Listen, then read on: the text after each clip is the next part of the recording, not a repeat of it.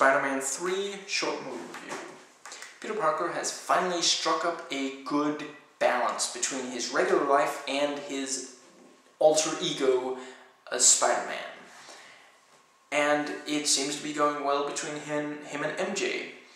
But when Flint Marko escapes from prison and becomes the Sandman, when becomes the new Goblin, and when a symbiote attaches itself to Spider-Man's suit, the film ends up with way too many subplots.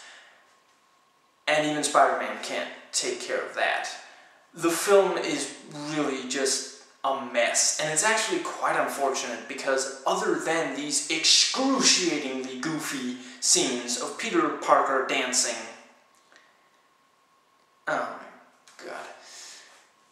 than that, there are some really nice elements. The action is really good. Not quite as good as it got in the second, I'd say overall, though, you know, the elements we want in there are still there. We've got the heroics, mid-air fighting, debris, you know, innocent bystanders, and the climax in this is the only thing in the Sam Raimi Spider-Man trilogy that I'd label epic. You know, we've got it. This this film explores the theme of revenge versus forgiveness, and it actually some of the way does quite nicely in that. You know, but about half of this film is basically a melodrama complete with a love triangle, or maybe two love sextuplet. I don't know, but but yeah, it just and it, it really lacks focus with all these you know subplots competing for screen time.